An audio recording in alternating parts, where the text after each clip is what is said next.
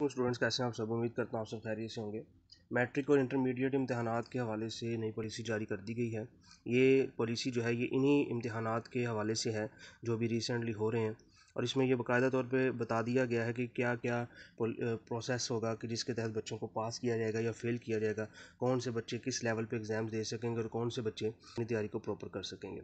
Intermediate और matric की इम्तहान की जो पॉलिसी है उसके हवाले से पहली जो खबर है, उम्मीदवारों को इख्तियारी मजामी के तमाम पर्चे लाजमी पास करना होंगे। मतलब कि ये जो चार एग्ज़ाम हो रहे हैं या तीन हो रहे हैं इंटरमीडिएट के और मैट्रिक के चार हो रहे हैं, इसी तरह नाइन्थ के हैं।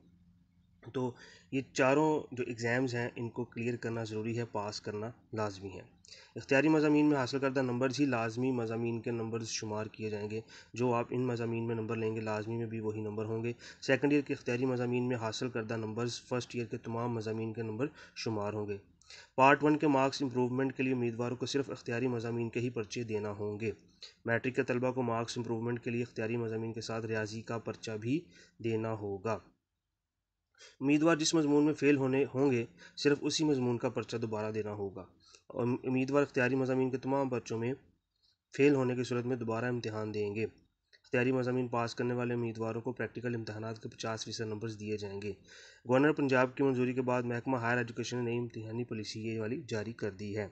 और ये नई इम्तहानी पॉलिसी जो है सेकेंड ईयर के होने वाले पर्चों और मैट्रिक के इम्तहान पर लागू होगी। और एक बात याद रखिएगा कि जिन स्टूडेंट्स ने एक भी पेपर छोड़ा है, वो पेपर दोबारा नहीं होगा, उसमें वो फेल होंगे और वो दोबारा सप्ली में नहीं दे सकेंगे। और अभी तक ये भी कंफर्म नहीं हुआ कि ये सप्ली के एग्ज़ाम्स होंगे या नहीं होंगे। उम्मीद करता हूँ वीडियो पसंद आई होगी। चैनल को सब्सक्राइब कीजिएगा दो में याद रखिएगा।